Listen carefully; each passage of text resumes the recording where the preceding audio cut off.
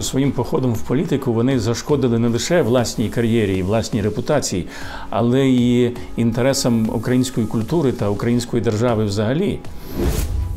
Баба з возу і три крапки. Якщо ти не знаєш баба з возу кобилі легше, то як ти зрозумієш взагалі до чого ці два слова на початку цієї статті? В моїй особистій перекладацькій практиці теж багато цікавих історій про переклади е, фольклорних висловів, але, на жаль, майже всі вони нецензурні.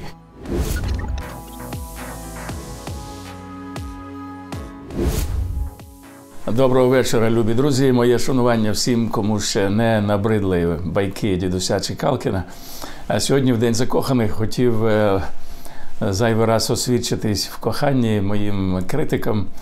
Я завжди сповідував принцип, що легше спиратися на те, що надає спротив. Лише відштовхуючись від е, цієї критики, ми можемо піднятися вище. В коментарях до останнього відео, яке було присвячено мовній війні між е, ідишем та івритом в Ізраїлі в 30-х роках минулого століття. Один з коментаторів зауважив: ви багато розповідаєте про гібрайські мови, про арабські діалекти. Хотілося б більше почути від вас про українську мову. Насправді наводжу аналогії з іншими країнами, де відроджувались національні мови для того, щоб легше було зрозуміти ситуацію е, в рідній Україні. Але тим не менш е, дослухався до цього зауваження. І сьогоднішній випуск е, саундчеку хотів присвятити саме розвитку сучасної української мови. Оскільки переконаний в тому, що від вирішення мовного питання залежить майбутнє української ідентичності і взагалі існування незалежної України. Як каже мій один радійний персонаж, є така щепетільна деталь, характерний например. Мені надіслали відео, де мій колишній однокашник Андрій Пальчевський з якогось переляку називає мене флюгером. В питанні мови. Насправді я ніколи не піддавав сумніву статус української мови як єдиної державної мови, і свого часу ще з 91-го року, працюючи українським дипломатом, був вдячний своїм старшим товаришам, колегам, таким як Юрій Миколаївич Щербак, з яким ми колись відкривали посольство в Ізраїлі, за те, що вони дуже наполегливо вимогливо ставились до використання української мови в усіх сферах нашої діяльності. Але сьогодні, оскільки я не державний службовець, то я можу собі дозволити використовувати російську мову для того, щоб достукатися до сердець тих співвітчизників, які ще не є нашими однодумцями, які, можливо, ворожо е, сприймають там люту українізацію, яку сповідує мій добрий товариш Антін Мухарський. І саме українські жарти, українські пісні, українське мистецтво це є інструментом так званої лагідної українізації.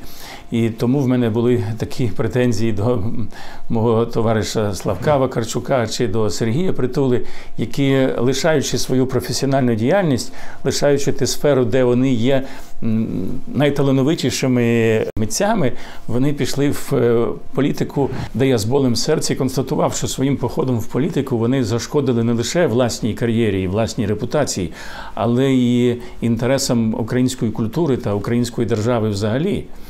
Ну, яскравий приклад. Багато з моїх знайомих, які роками використовували на своїх е, мобільних телефонах е, пісні Славка Вакарчука в якості рінгтонів, вже більше року змінили е, їх на інші мелодії. Це якраз той випадок, як сказано в прислів'ї, кравцю шити, а кухарю куховарити. Ми вже маємо досвід печальний походу одного шоумена в українській політиці. Ви знаєте, я в житті перепробував більше 30 різних спеціальностей, але спеціальність, яка надала мені, можливо, найбільше е, інтелектуального задоволення, е, це викладацька справа. Дуже приємно бачити, як на твоїх очах люди завдяки твоїм зусиллям опановують досі незнайому для них мову. І мене, як викладача з майже там 40-річним досвідом, е, часто запитують: підкажіть е, якісь ефективні шляхи вдосконалення своїх навичок в іноземних мовах. В моїй альма-матер в Московському вія військовому інституті іноземних мов, який недаремно вважався найпотужнішим філологічним учбовим закладом колишнього радянського союзу, були два засадничих е, методичних принципи. Перший е, що студент, в нашому випадку це був курсант, це не сосуд, який треба наповнити, а це факел, смолоскип, який треба запалити. Ну і другий принцип. Е, невідривно пов'язаний з першим, полягає в тому, що мистецтво викладача перетворити процес навчання в розважання. Є відомий вислів англійською мовою Choose a job you love and you will never have to work a day in your life. Оберіть роботу до душі, і вам жодного дня не доведеться працювати. Ну, цей вислів помилково приписують Стіву Джобсу або іноді навіть Конфуцію. Але насправді першим джерелом цього вислову є професор Принстонського університету, відомий філософ Артур Шазмарі, який в 80-х роках минулого століття часто використовував е, цей вислів в своїх е, славетних лекціях. От у випадку з моїми друзями-музикантами я е, кажу, ви годинами щодня слухаєте свої улюблені музичні композиції. Так нехай вони будуть не просто фоном амбіанс, як кажуть французи, а нехай вони будуть для вас знаряддям розширення вашого вокабуляру і поглиблення ваших мовних навичок.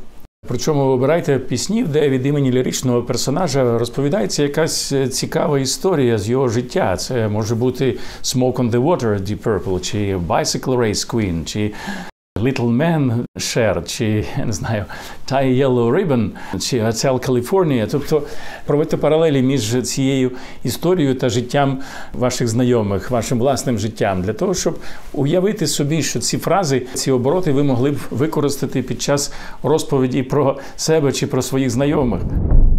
Ну, між іншим, ще один важливий принцип методики нашого учбового закладу полягав в тому, що від кожного студента треба вимагати присвятити на самоподготовку не менше часу, ніж на навчання власне в аудиторії. І тут мистецтво викладача полягає в тому, щоб знайти для кожного той матеріал, який буде для нього максимально цікавим. Тобто для когось це аналіз текстів улюбленого серіалу Friends чи улюблених книжок е, улюблених авторів в перекладі на іноземну мову. Я свого часу використовував якраз оповідання Чехова, досконалюючи свої знання євриту чи арабської мови. Для когось це може бути збірка анекдотів. Еротичних оповідань, аніме, коміксів, е, фентезі.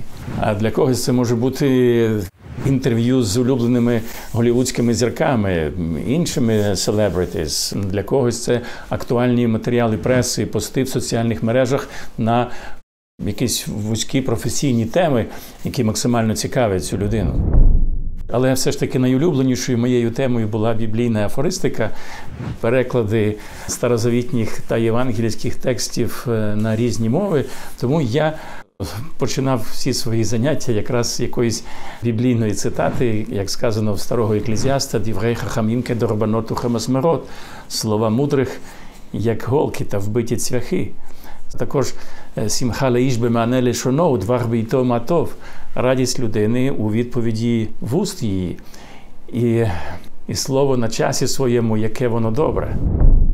Свого часу, наприкінці 80-х років, коли я активно збирав матеріали для своєї кандидатської дисертації, в радянській філології розвивався такий напрямок, як пареміологія.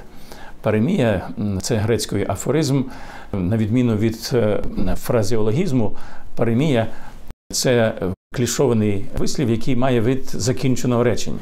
Відомий лінгвіст, академік Пірмяков Склав тоді наприкінці 80-х так званий пареміологічний мінімум російської мови, тобто набір набір афоризмів, відомий абсолютно всім автентичним носіям російської мови тогочасного радянського союзу.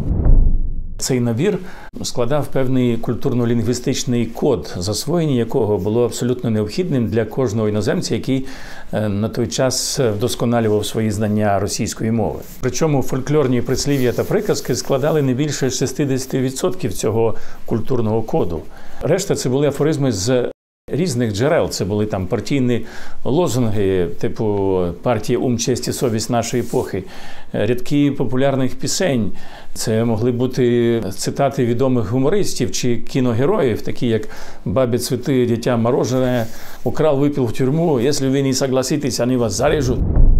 Без засвоєння цього коду з одного боку не можна було зрозуміти назву великої кількості статей в популярній пресі. Припустимо, баба з возу і три крапки. Якщо ти не знаєш баба з возу кобилі легше, то як ти зрозумієш взагалі до чого ці два слова на початку цієї статті? Чи авось брівна і не замітить? Ти не зрозумієш, до чого тут якесь бревно чи колода, якщо ти не знаєш оригінальний вислів з євангельських текстів від Матфея чи від Луки. Чому дивишся на скалку в оці брата твого, а колоду у власному очі не відчуваєш? Крім того, афоризми, зокрема прислів'я та приказки, дають можливість значно економити сили комунікантів, оскільки іноді достатньо просто вимовити два-три слова, там, хороша ложка к обіду, там, чи баба з возу, чи наліз поперед батька в пекло, чи говорили, балакали. І не треба довго пояснювати свою можливо складну думку. Крім того, треба зважувати на те, що Афористичні вислови дуже часто переосмислені, і їх буквальний переклад може призвести до серйозної мовної помилки. Я пам'ятаю випадок, свідком якого був мій колега наприкінці 80-х в радянському генштабі приймають делегацію Китайської Народної Республіки, вже налагоджуються нормальні відносини після десятиліть ворожнечі. І радянський генерал каже, що в нас були важкі іноді часи наших взаємин, але як кажуть, хто старе пам'ятає, і тут китайський перекладач він не розуміє, хто старе пам'ятає, просить йому дати роз'яснення. І генерал каже: ну є такий вислів у нас, хто старе пам'ятає, тому глас вон. Ну, Цей перекладач китаєць повертається до китайської делегації і каже: радянський генерал заявив, що якщо хтось вас ще раз згадає інцидент на острові Даманському, він йому вирве око. В моїй особистій перекладацькій практиці теж багато цікавих історій про переклади фольклорних висловів, але, на жаль, майже всі вони нецензурні. Моє завдання як викладача арабських діалектів полягало в тому, щоб для кожного з моїх колег-перекладачів, які іноді за один рік змінювали 3-4 арабські країни, дати можливість засвоїти цей культурний код, який давав корисну інформацію не лише про суто фонетичні, лексичні ці граматичні можливості того чи іншого арабського діалекту, але і важливу екстралінгвістичну інформацію про традиції та звичаї того чи іншого арабського народу, який дуже сильно насправді відрізняється один від іншого, корисні відомості про історію, культуру тієї чи іншої арабської країни. Кількість одиниць цього культурного коду да, переміологічного мінімуму, одиниць абсолютно відомих клішованих висловів, відомих абсолютно всім автентичним носіям тієї чи іншої іноземної мови, вона вимірюється сотнями. Це іноді дивує. Людину необізнану да, з сучасною пареміологією. Коли ви запитуєте пересічну людину, скільки ви тримаєте в оперативній пам'яті цих афористичних висловів, прислівів та приказок, вона каже: ну, може, там до сотні. Насправді їх набагато більше, і в залежності від моногенності тієї чи іншої мовної спільноти в тій чи іншій країні їх може бути до тисяч. Особливості обмеженого функціонування української мови наклали свій відбиток на формування українського афористичного фонду взагалі та пареміологічного афористичного мінімуму, зокрема. Фольклорний чинник як головне джерело формування цього культурного коду, пареміологічного мінімуму, був досить обмежений через те, що в побуті української мови в радянські часи ставало все менше і менше. Донедавна в українському культурному просторі не було достатньої кількості якісного кіно та телепродукту, який є серйозним джерелом поповнення цього культурного коду. І якщо в сучасній російській мові питома вага фраз культових кіногероїв досить велика і вимірюється десятками, якщо не сотнями одиниць, то в сучасній українській мові їх можна перелічити на пальцях, можливо, однієї руки.